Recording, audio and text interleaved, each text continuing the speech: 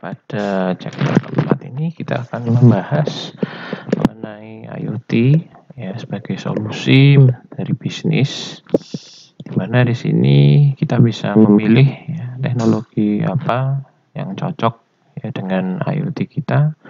Di mana kalau kita melihat di persebaran IoT saat ini ya ada banyak sekali jenis komunikasi yang bisa kita pakai mulai dari yang paling luas dan juga kita lihat untuk cakupan yang lebih sempit, cakupan lokal, cakupan yang ada di rumah, di mana di sini untuk cakupan yang lebih luas kita melihat ya ada penggunaan internet yang teman-teman sudah sering pakai, kemudian ada juga 3G atau 4G ya jadi di dalam microcontroller di situ sifatnya bisa kita tanamkan satu GSM modul dan di mana GSM modul ini untuk generasi yang lebih lanjut ada modul 3G, ada modul 4G yaitu bisa kita integrasikan di dalam microcontroller dan kemudian juga ada satu teknologi yaitu long range atau LoRa ya, di mana di sini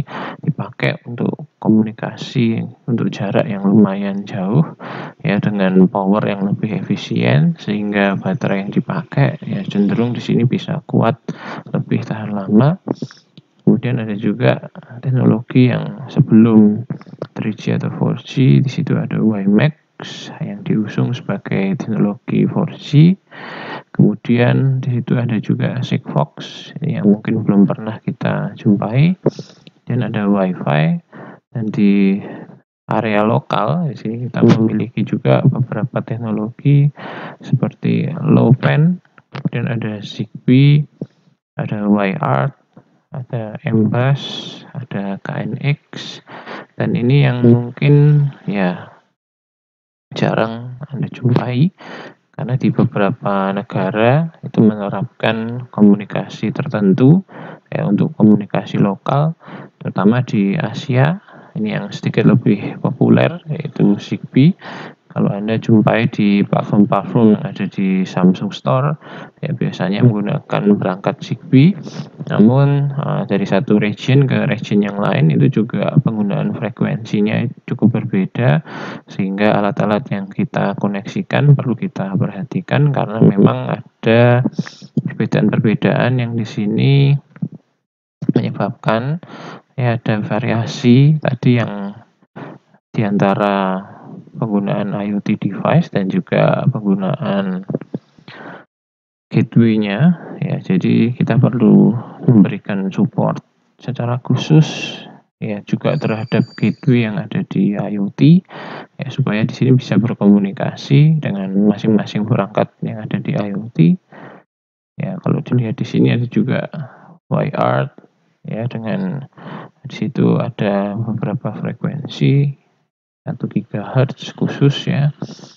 Dan ada Mbus KNX ya ini ada mungkin di beberapa negara seperti Korea ini memakai teknologi ini.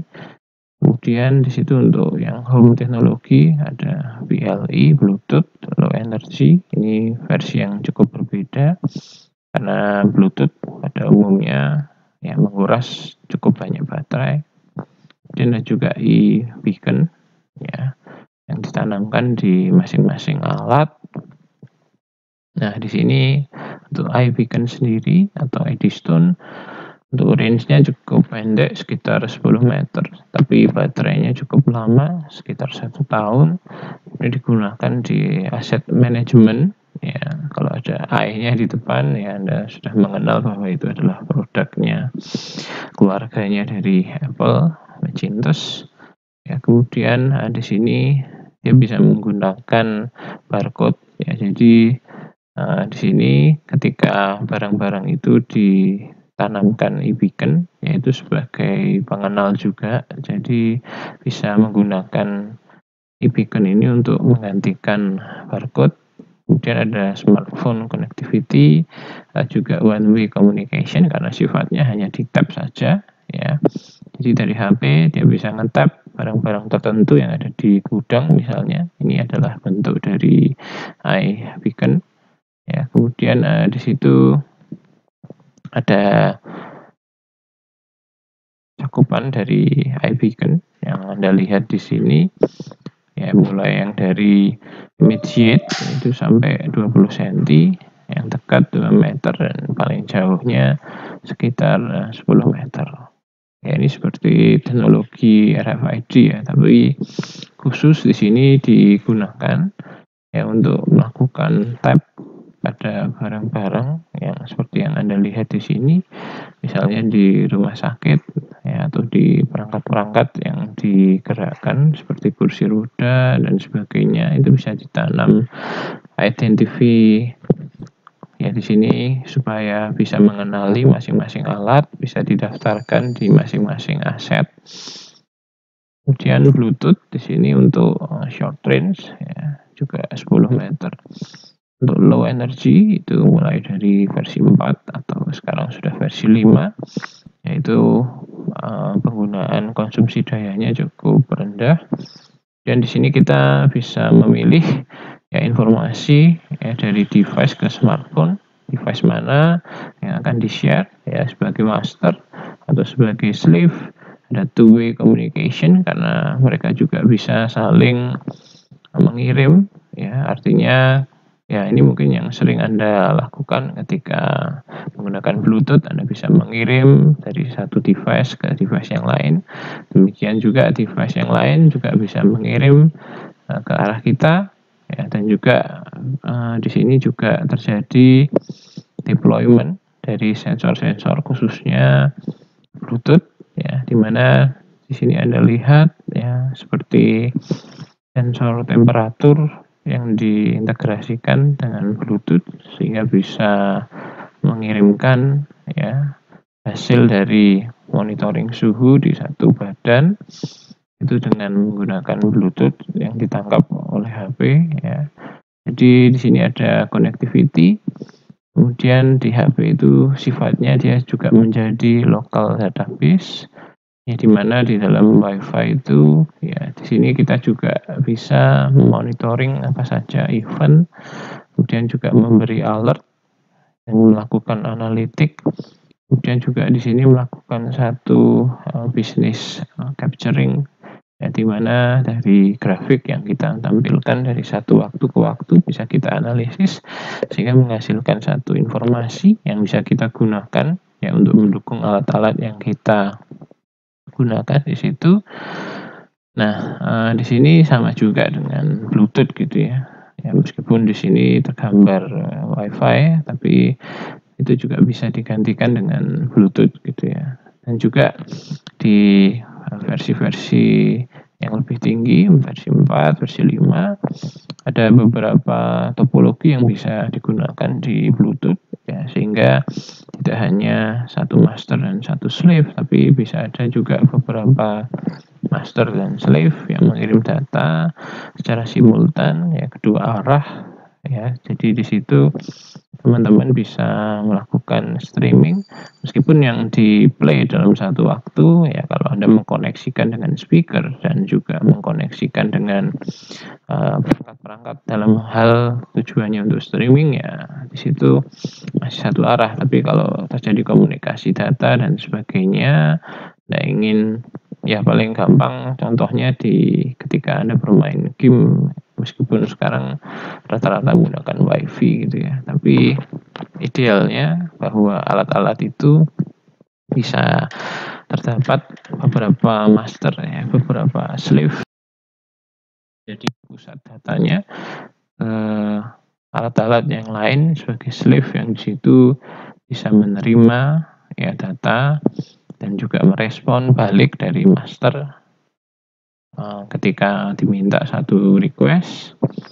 Dan untuk application-nya ini cukup luas ya dari sisi bisnis kita bisa melihat bahwa ada peluang-peluang yang bisa kita manfaatkan dari sisi healthcare ya Anda sudah melihat bahwa di zaman sekarang ini banyak sekali ya jam smartwatch yang di situ khusus digunakan untuk monitoring ya terutama untuk kegiatan kita merekam step berolahraga, kemudian merekam heart rate kita dan juga ada juga beberapa smartwatch yang di situ ya diklaim bisa mengetahui tekanan darah tapi kalau smartwatch yang bisa eh, mengerti tekanan darah itu saya rasa hanya permainan saja karena namanya tekanan darah itu memang harus ada satu uh, tekanan ya ketika ingin mendapatkan ya konversi ya dari seberapa cepat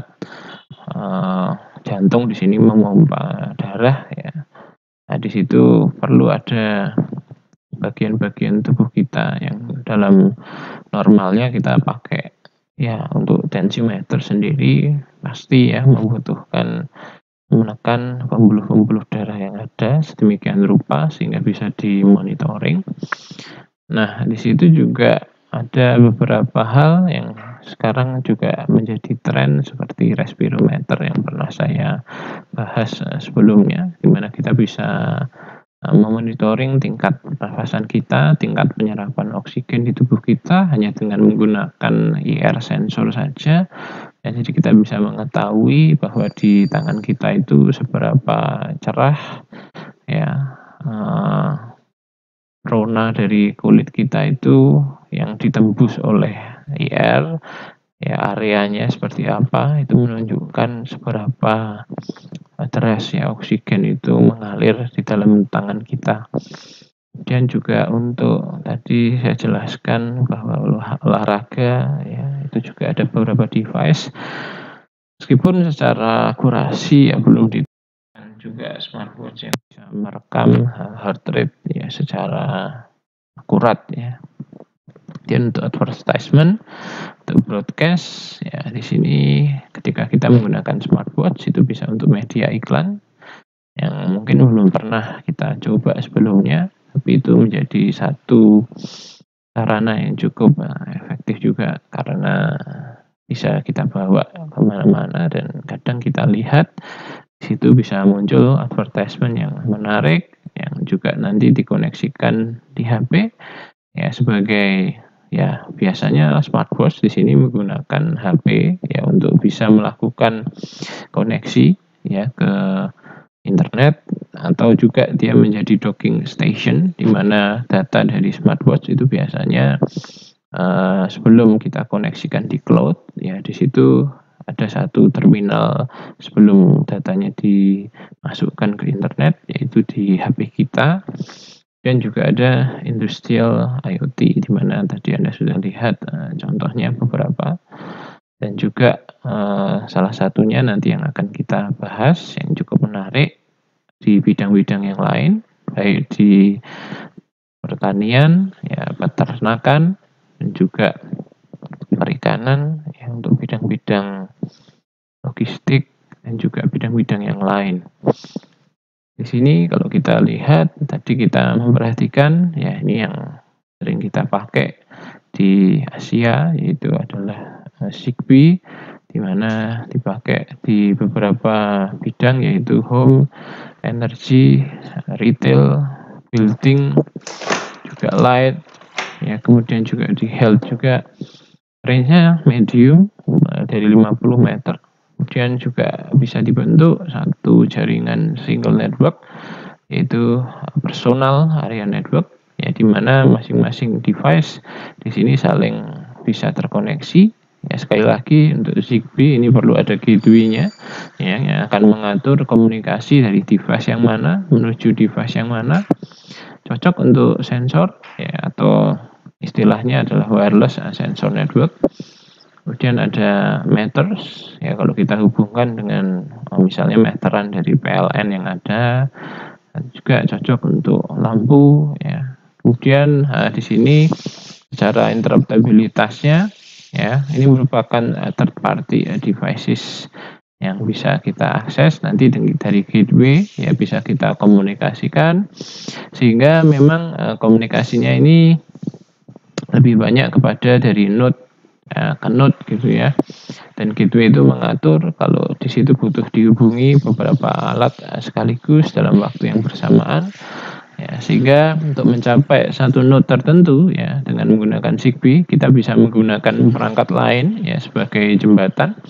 Artinya kalau anda lihat di sini ya ini ada beberapa lingkaran dari personal area network ya yang dibentuk oleh Zigbee Ya, misalnya nanti ketika lampu ini ingin berhubungan ya dengan beberapa alat yang di situ menjadi action ya. Artinya uh, lampu itu bisa menjadi salah satu action devices di mana di situ ada sensor-sensor yang juga terhubung ya. Jadi misalnya ada sensor gerakan. Ketika ada seseorang yang bergerak, lampunya baru nyala. Nah, kita bisa melihat bahwa di dalam sensor gerakan tersebut mana device-device yang uh, di situ lebih dekat ya daripada jaraknya dia ke lampu. Nah, di situ dia bisa menjadi hub ya atau menjadi satu loncatan, satu jembatan.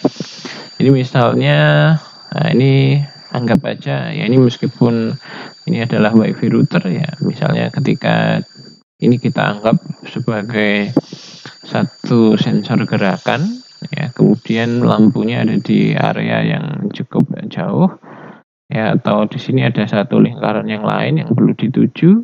Nah misalnya ya ketika lampunya atau switchnya ada di sini nah di sini kita bisa menggunakan uh, perangkat jembatannya yaitu yang lebih dekat ada HP dulu ya di sini. Nah dari HP nanti uh, meneruskan paketnya atau requestnya ke switch. Nah, baru dari switch di sini bisa kita menerima gitu ya responnya tidak langsung dari perangkat atau sensor atau gateway-nya juga bisa langsung mengirim satu komen ya. Application ya salah satunya di lighting automation kemudian smart metering home automation ada integrated building management system. Ya kalau anda mau bikin satu smart kemarin yang cukup menarik ada smart cost ya. Meskipun saya belum pernah melihat biasanya sih smart apartemen gitu ya, ya itu bisa anda terapkan bisa anda padukan dengan kamera supaya penggunaannya jadi cukup menarik nah uh, mungkin sebagai salah satu contoh yang bisa anda ambil gitu ya. Ya ini di salah satu kampus ada yang pernah bercerita ya bahwa di situ dideteksi ya kalau kita butuh aktivitas tubuh itu lebih banyak artinya berjalan dan sebagainya nah, nanti uh, di lift itu akan ada deteksi berat badan ya Uh, sebelum masuk ke lift gitu ya kita capture menggunakan kamera misalnya dideteksi berat badannya sekian oh, oke okay.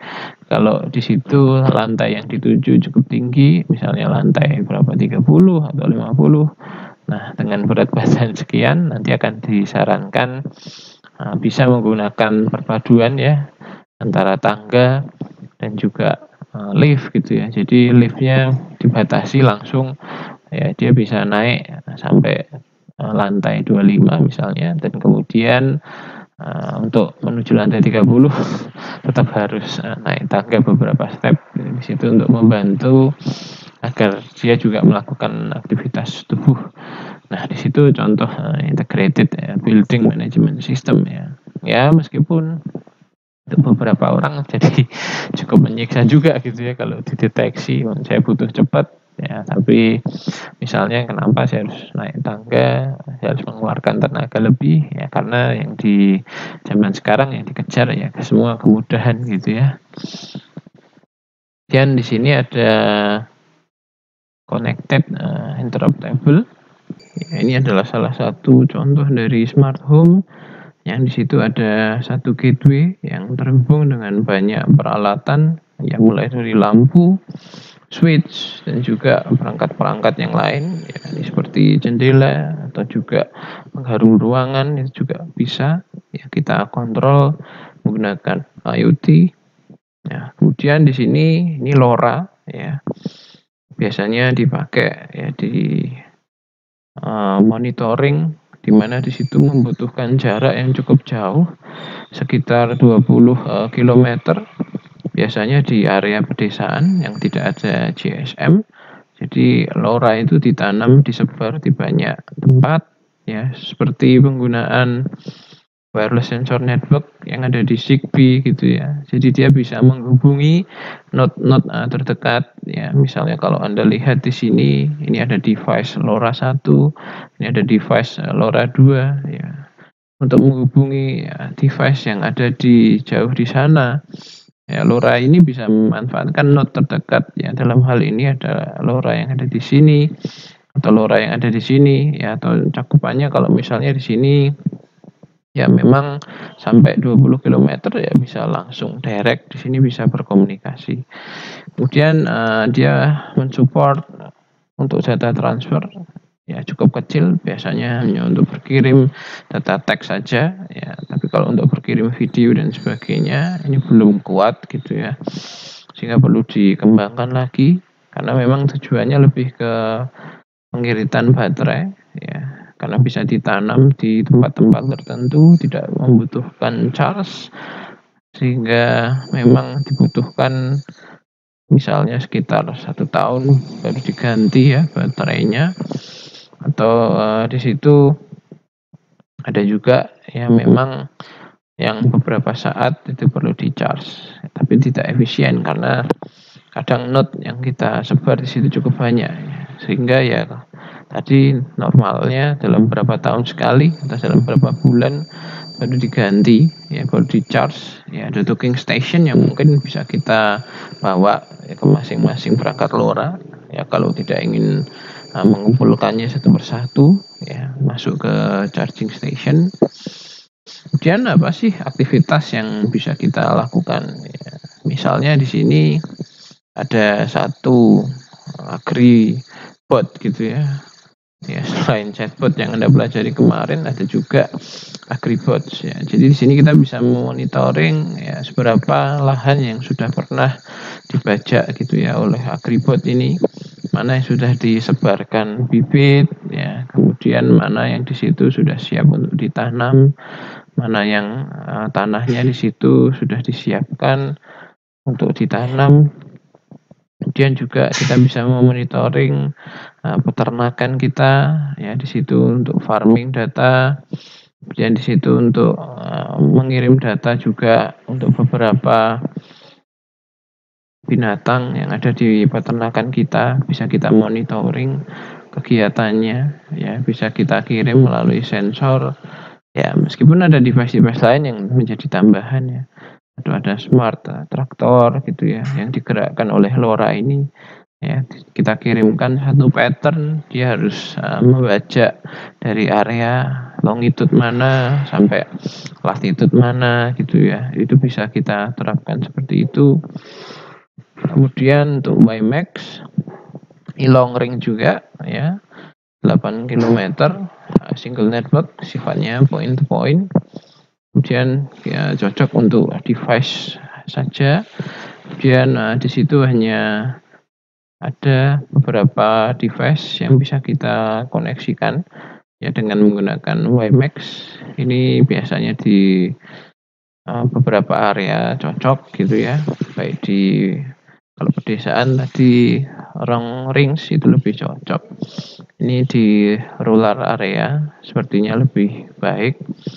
Ada high speed, high volume bedanya karena WMX ini ya merupakan dasar yang kita gunakan untuk uh, modifikasi bandwidth yang kita konsumsi di dalam 4G Ya baik di situ uh, teknik uh, pengiriman datanya supaya lebih optimal itu dikirim dengan menggunakan uh, channel-channel yang ada. Ya, jadi bagaimana kita bisa memanfaatkan channel-channel yang kosong untuk komunikasi dan sebagainya.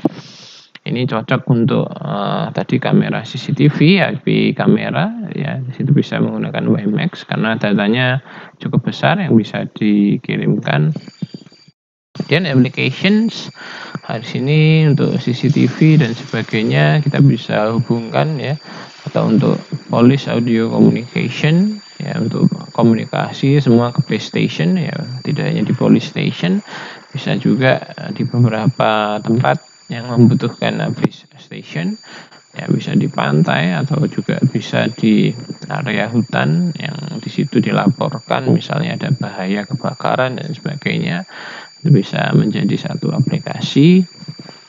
Dan ini GPRS ya di mana uh, cocok untuk 3G dan 4G ya ini cocok di urban area. Yang di sini mendukung high volume data transfer juga. Dan memang harus di charge harus di power. Nah, di situ diberi satu power.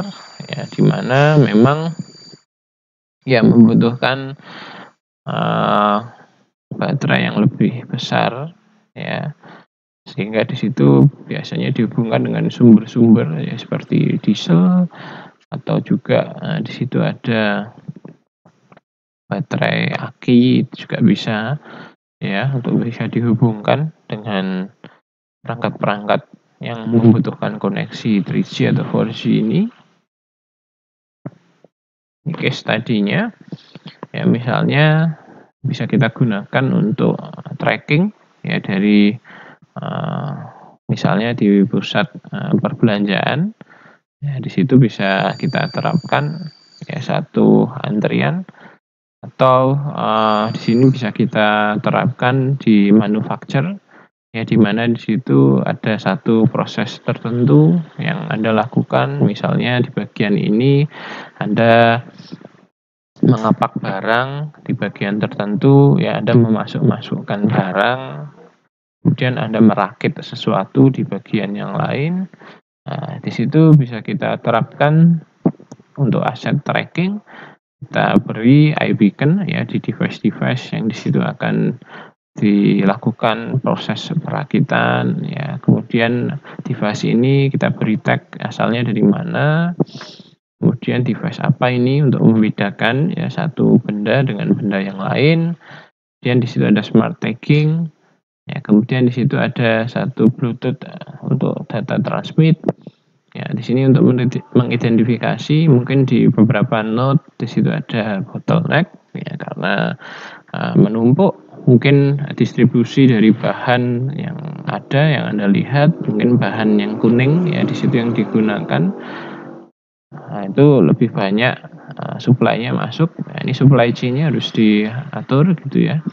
Mana yang produksinya paling cepat gitu ya. Mana yang di situ produksinya lebih lambat ya sehingga nanti ketika masuk semuanya ada antrian yang perlu kita atur sehingga ketika barang itu sudah menumpuk ya bisa kita manfaatkan ya dari segi kita desain ya proses perakitannya itu seperti apa seefisien mungkin atau mungkin di sini juga bisa kita alirkan kembali ya kalau ada bottleneck tapi itu memang kurang efisien.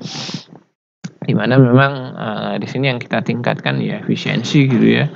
Kemudian kita mengganti ya beberapa proses yang dulunya memang dilakukan orang sekarang dilakukan oleh sistem keseluruhan dan semuanya dimonitoring gitu ya. Jadi jangan sampai ada satu proses yang macet. Nah, di sini kita bisa mengurangi juga uh, inventory gitu ya. Artinya ya kita bisa menyimpan barang-barang tersebut gitu ya dengan lebih baik kalau digunakan ya di gudang teknik uh, iBeacon ini.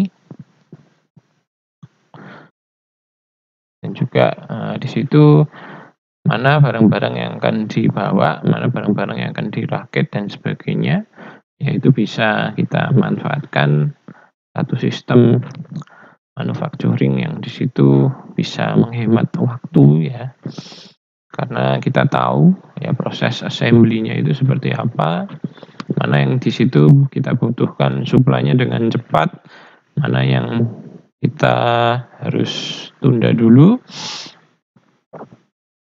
Dan di situ ada juga ya untuk mengelola hasil sisa dari production kita ya supaya ada proses pengelolaan lebih lanjut sehingga beberapa sisa itu bisa dimanfaatkan tidak langsung dibuang.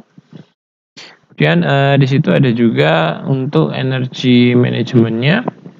Ya ada energi meter kita mengetahui ya berapa daya yang kita pakai ya untuk masing-masing alat.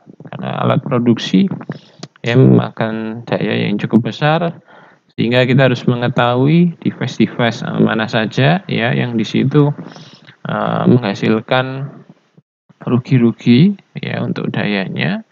Ya karena alat tersebut uh, menghasilkan uh, panas yang cukup besar daripada energi yang uh, bisa disalurkan ya untuk dikonversi ya menjadi energi mekanik atau menjadi energi yang lain ya sehingga proses konversinya tidak terlalu optimal kita harus mengetahui device-device apa itu kita bisa beri satu power bank tertentu ya untuk bisa meningkatkan efisiensi ya secara kelistrikannya seperti apa nah ini cocok kalau uh, kita ingin melakukan juga audit gitu ya dari energy management supaya industri kita tetap dinyatakan sebagai industri yang hijau. Kemudian kita bisa melihat ya consumption, power consumption untuk tiap mesin. Ya di situ ada KWH per unit ya yang kita bisa lihat di dalam unit produksi kita. Ada KWH per shift gitu ya, melihat satu keseluruhan dari satu proses yang ada dan kita bisa mengoptimasi ya energi dan juga harga dari harus kita keluarkan ya untuk di sini bisa mensupport daya dari peralatan kita masing-masing. Nah, di sini juga menjadi satu pertimbangan kalau kita ingin membuat ya seberapa banyak sih antrian jumlah antrian yang kita manfaatkan di situ apakah sebanding dengan jumlah daya yang kita keluarkan juga. Artinya apakah dengan memperbanyak antrian, memperbanyak proses batch ya di situ uh, tidak mengurangi efisiensi dan juga biaya. Ya biaya memang bertambah gitu ya tapi di sini kita perlu pertimbangkan faktor-faktornya. Apakah dengan menambah biaya efisiensi tetap bisa tercapai? Nah di situ perlu kita pertimbangkan. Kemudian parking automation system nah, di situ kita bisa memadukan ada sensor RF ya radio frekuensi tertentu ya bisa mengirim di HP kita ya satu informasi lahan mana yang kosong ya karena ketika kita mencari parkir itu juga memboroskan energi bensin atau nanti ke depan energi dari mobil listrik kita. Sehingga di sini perlu kita lakukan optimasi ya dari lahan parkir. Kita bisa deteksi ya dulu yang pernah saya rancang di masing-masing uh, kota. Yang Anda lihat di situ Anda terapkan satu sensor. Ya bisa paling sederhana adalah sensor ping. Sehingga nanti ketika sensor ping itu mendeteksi ya adanya objek dengan jarak sekian artinya di situ ada uh, mobil kendaraan yang parkir atau motor yang parkir juga. Nah, di sini bisa menjadi satu informasi yang dikirim ke database di mana kita lihat oh ada satu lokasi tertentu ya di mana di situ tidak digunakan. Ya memang ya, sensor ping itu bervariasi ya. Artinya ada yang bisa mendeteksi juga oh, warnanya ya. Ada yang sensitif uh, terhadap warna ada yang tidak sensitif gitu ya. Sehingga memang kadang dia memantulkan warna. Nah, di situ dideteksi ya sebagai objek. Nah di situ perlu kita optimalkan juga. Atau juga ada yang uh, menggunakan uh, alat-alat uh, tradisional gitu ya. Seperti balon ya. Sehingga dari kejauhan itu bisa nampak gitu ya. Balon yang uh, di situ tinggi itu artinya adalah balon yang tidak diinjak oleh mobil gitu ya. Kalau balonnya itu tinggi artinya lahan parkirnya tersedia ya. Kita buat satu blok ya di situ yang diikat dengan balon ya di mana kalau blok tersebut uh, diinjak itu menyebabkan ya balon tersebut uh, bisa naik. Kira-kira seperti itu Nah, itu juga bisa nanti kita padukan dengan beberapa sensor ya seperti sensor eh, kita mendeteksi ya dari balon yang tadi terangkat itu seberapa uh, jauhnya atau seberapa tingginya. Nah, di situ ketika kita mengetahui hal tersebut, nah kita bisa mengirim data juga. Oh, artinya selain kita bisa melihat secara manual, ya di situ bisa kita kirim datanya ke tempat kita mencari lahan, ya. Tapi juga bisa dioptimasi juga uh, bagaimana cara untuk bisa mencapai lahan tersebut. Ya jadi tidak berhenti di lokasi mana di situ ditunjukkan ada lahan parkir yang kosong. Tetapi juga ada satu guidance ya untuk mencapai free location sehingga ada path planning. Ya ini yang cukup menantang yang belum pernah dilakukan. Ya, smart parking banyak tapi yang bisa melakukan guidance ya, free location itu saya rasa belum dilakukan. Mungkin beberapa sudah melakukan ya. Tapi itu menjadi cukup challenge untuk kita bisa terapkan di tugas akhir. Kemudian smart lighting. Ya ada feature level automation yang bisa kita masukkan. Ya misalnya di dalam MCB kita atau di dalam panel kita. Itu ada beberapa tambahan alat ya, seperti energy meter atau di sini pelindung dari petir atau pelindung dari lonjakan arus yang terjadi. Ya terus kemudian di situ ada open switch. Dan juga di situ ada GPRS enable eh, RTU ya di sini fungsinya sekali lagi adalah kepada bagaimana kita bisa memanfaatkan ya, komunikasi data itu untuk bisa mematikan ya menghidupkan atau menggeser relay ya atau juga mematikan switch. Nah, ada kontaktor juga di situ ya. Jadi uh, ini kalau kita gunakan bisa menjadi energy meter smart ya. Kemudian di situ uh, ada satu kontrol yang terpusat ya ada monitoring system ada otomasi dari switchingnya. Ya, kemudian ada energy footprint yang bisa kita ketahui karena semuanya kita monitoring ya penggunaan device itu uh, seperti apa. Kemudian ada fault detection theft detection ya. Supaya di sini kita mengetahui ya kalau ada yang mencuri daya bisa kita deteksi. Protection energy audit energy saving light sensor scheduling. Ya ini kalau di jalan-jalan gitu ya ada yang nyantol di situ ya ada yang menggunakan device-device tersebut secara terlarang ya atau juga ada pencurian tertentu yang tidak kita ketahui dari uh, sumber-sumber uh, yang lain. Nah itu bisa kita monitoring. Kemudian nah, di sini bisa kita masukkan itu di dalam cloud application di mana di situ kita bisa melihat ya uh, ini adalah aset dari lampu gitu ya yang kita miliki dalam satu kota. Nah di situ kita bisa mendapatkan satu lokasi yang exact satu lokasi yang tepat untuk lampu kita di mana. Ada alertnya juga. Ada real time operasional yang bisa kita lihat di situ. Ada faultnya juga. Kalau lampunya tidak bisa nyala kita bisa deteksi node-nya itu di mana. Kemudian smart metering ya dari masing-masing region tadi bisa kita hubungkan juga ya dengan perangkat-perangkat komunikasi. Kita bisa membuat hybrid network. Dan di situ ada satu data konsentrator unit ya di mana di situ menghubungkan sebagai central station ya dari gateway-gateway yang kita hubungkan. Ya di situ untuk uh, mendeteksi dari jaringan mana ya ada yang bermasalah ada yang perlu kita atur. Jadi ada beberapa layer Ya, layer 4 di situ adalah meter data management, layer 3 adalah data konsentrator, layer 2 adalah RF gateway, layer 1 adalah uh, AMR solution ya.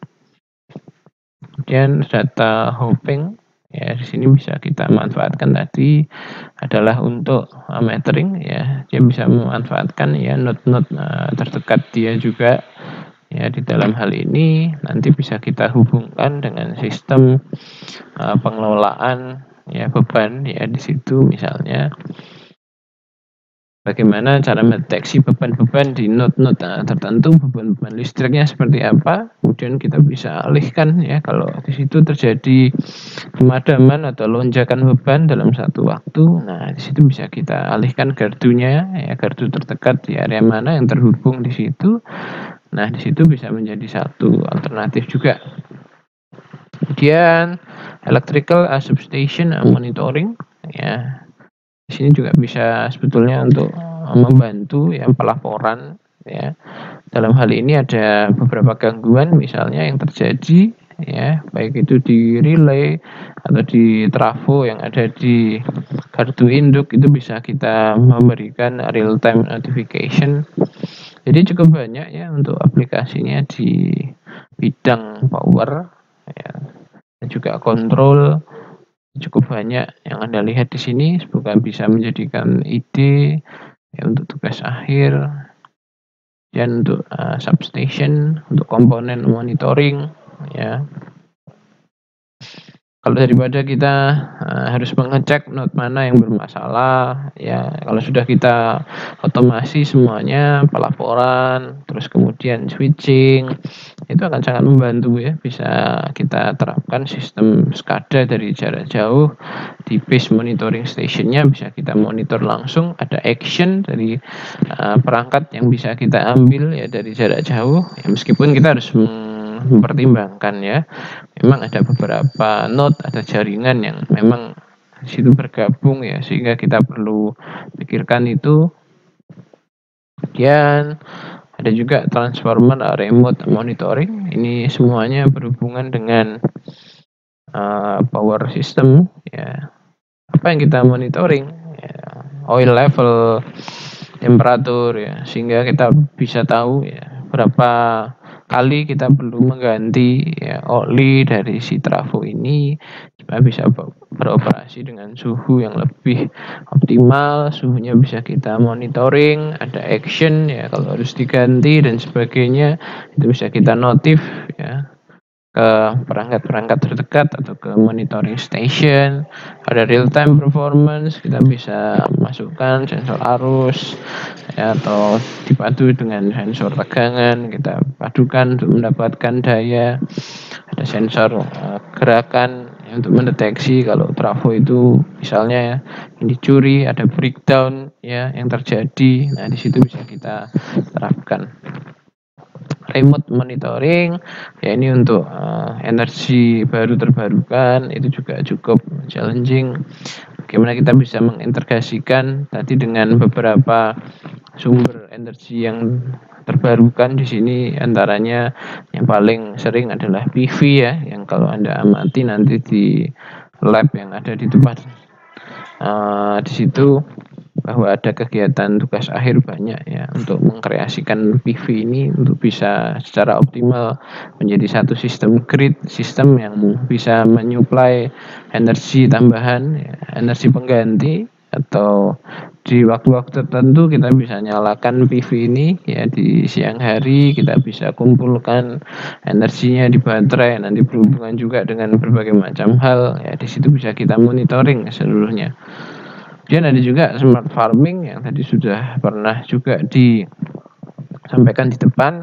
Ada satu soil moisture ada temperatur eh, sensor yang bisa kita masukkan di dalam tanah ya untuk mendapatkan suhu dari tanahnya itu seberapa. Kita bisa kontrol nanti untuk meningkatkan suhu tanah meningkatkan uh, gizi yang ada di dalam tanah pupuk yang kita beri kandungannya seperti apa ya tingkat kelembapannya apakah kita perlu siram atau tidak.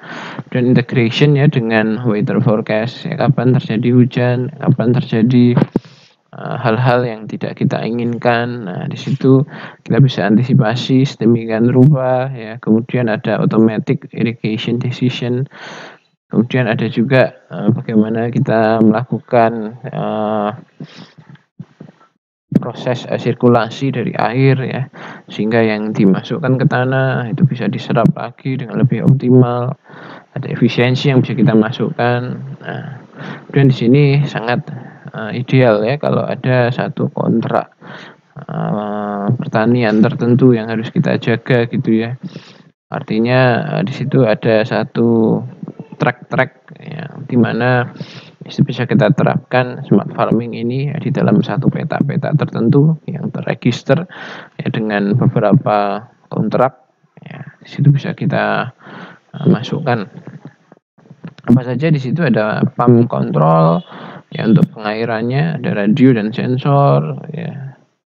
Ada juga uh, beberapa node di situ kita masukkan soil sensornya kita kirim melalui radio Kemudian uh, tracking wildlife ini juga menjadi satu uh, challenge ya. Bagaimana kita menanam RFID ini di dalam masing-masing hewan liar yang kita lepas misalnya di alam ya. Apakah dia masih survive atau dia mengalami kendala. Nah, di situ bisa kita seperti yang Anda lihat di New ya atau di Net Geo ya. Channel-channel tertentu yang memperhatikan secara khusus alam Kemudian untuk aset tracking ini sudah kita sebutkan di depan. Heavy equipment monitoring, ekskavator, waste management nah, ini cukup menarik juga ya mengelola sampah ya bagaimana kita bisa mengoptimasi rute dari pengumpulan sampah kita bisa mengetahui berapa persen ya sampah yang sudah penuh atau belum yang harus diambil atau yang besok bisa diambil ya, menunggu diambil kita bisa beri alert sehingga truk sampah itu juga bisa mengenali ya mana-mana yang di situ perlu diambil terlebih dahulu menghindari delay Kemudian ada backbone dari smart city, ya, mulai dari lighting control, smart parking yang terintegrasi keseluruhan, ya, vehicle charging kalau sudah ada mobil listrik, advertisement dan juga environmental monitoring. Kemudian juga ada live development yang bisa kita masukkan di situ. Nah, di sini ya, ini merupakan salah satu perusahaan ya yang bergerak di dalam bidang di situ mesin to mesin